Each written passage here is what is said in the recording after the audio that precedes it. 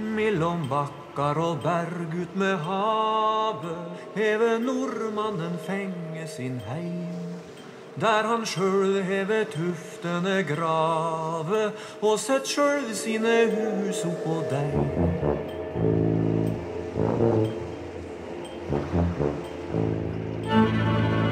Han så ut på dei steinute strender, det var ingen som der hadde bygd.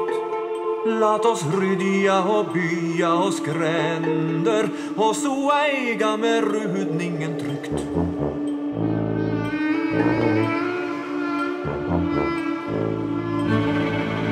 Han såg ut på det bårute havet, der var ruskut og leia ut på.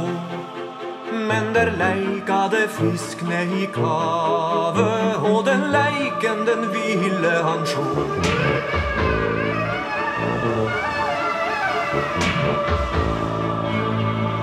Sudom havet han stundom lau skria, der var rikdom på benker og bord. Men kring om såg han trældommen kvia, og så vende han atter mot nord.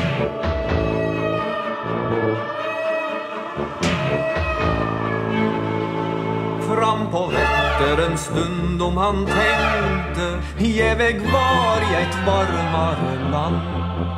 Men når vår sol i bakkane blengte, fekk han hug til si heimlege strand.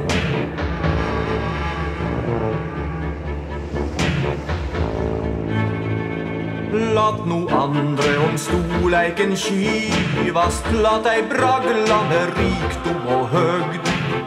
Millom kaksar eg lite kan trivast, millom jamningar helst er eg nøgd.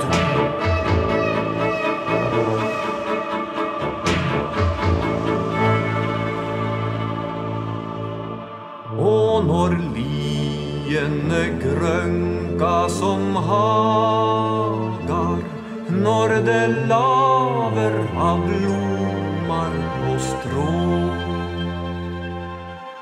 Og når netter er ljose som dagar, kan han